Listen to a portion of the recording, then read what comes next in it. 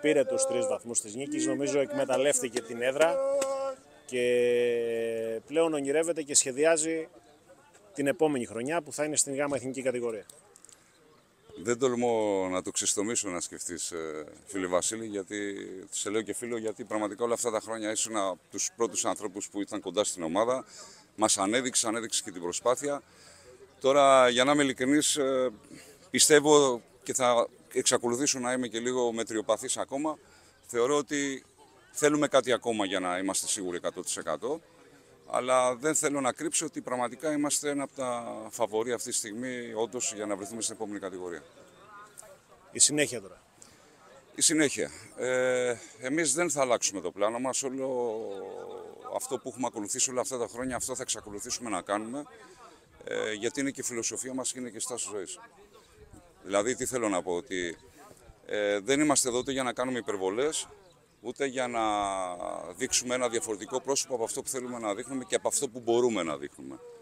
Και δεν ε, το βλέπουμε αυτό υποτιμητικά, ότι είναι υποτιμητικό για μας.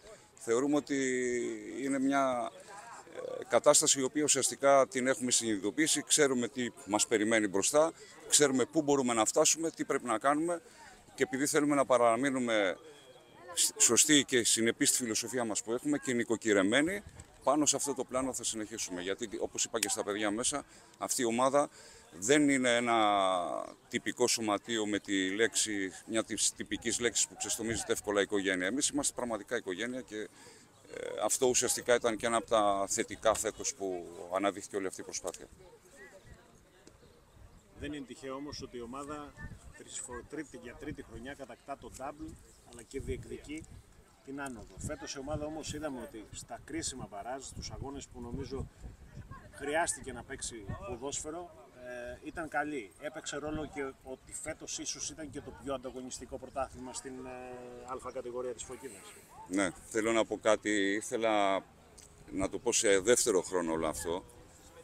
Ε, αλλά επειδή μου δίνετε ευκαιρία θα απαντήσω τώρα.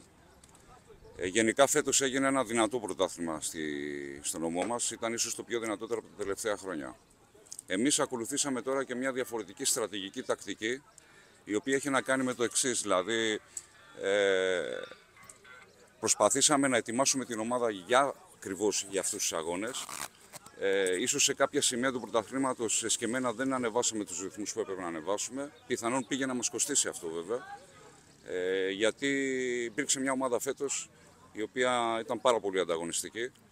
Εγώ δεν θα σταθώ στο τι έχει υποθεί και τι έχει γραφτεί. Έχω ξαναπεί και τους έχω δώσει συγχαρητήρια και θα το δώσω ξανά και τώρα, θα τους ξαναπώ. Ήταν μια ομάδα πολύ δυνατή, μας ακολούθησε, μας έτρεξε σε όλη τη χρονιά. Αυτό μας βελτίωσε και μας έκανε και εμάς ε, να βρισκόμαστε σε γρήγορση, που τόσο όταν ξεκινήσαν τα μπαράζ να είμαστε έτοιμοι. Συν ότι θεωρώ ότι τα τελευταία χρόνια έχει γίνει και μια αξιόλογη προσπάθεια και από την ε, διοργανώτρια αρχή, από την Ευσυφοκίδα. Ε, υπήρξε εξωστρέφεια γενικά στο τι συμβαίνει στο ποδόσφαιρο στο νομό μας και όχι μόνο. Εγώ ξεκίνησα το 2017 και από τα πρώτα χρόνια δηλαδή δεν έχει καμία σχέση αυτό που είδα και παρέλαβα εδώ ποδοσφαιρικά με αυτό που βρισκόμαστε τώρα. Αυτό.